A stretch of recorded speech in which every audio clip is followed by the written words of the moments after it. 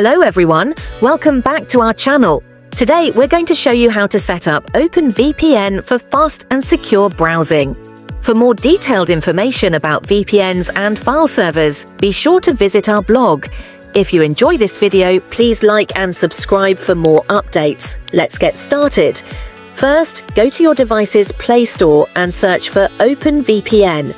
Click the Install button to download and install the app on your device. Once installed, open the app. You should now be on the homepage of the OpenVPN app. Next, open any web browser and search for SSH Ocean. In the search results, click the official link to go to their website. On the SSH Ocean homepage, click the hamburger icon in the upper right corner. A small menu will appear. Scroll down to the VPN option and click on Open VPN. Now a page will open where you can select your desired server location. Click on your preferred location. On the new page, click the Create button to proceed.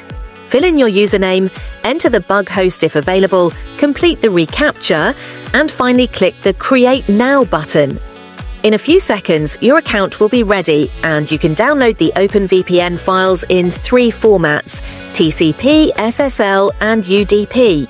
Click to download the file you need. Go back to the OpenVPN app's homepage. Click the Upload File button, then click the Browse button at the bottom. This will open your device's File Manager. Navigate to the Download folder and select the file you just downloaded. Once the file is added, click the Connect button. In a few seconds, you'll be connected to a secure web browsing session. If you want to check the status and speed of your connection, click the hamburger icon in the upper left side of the app. Then click the status button to open a page displaying your connection details and speed. And that's it. You are now connected to OpenVPN for fast and secure browsing. If you found this tutorial helpful, don't forget to like, subscribe, and share this video. Thank you for watching and see you in the next one.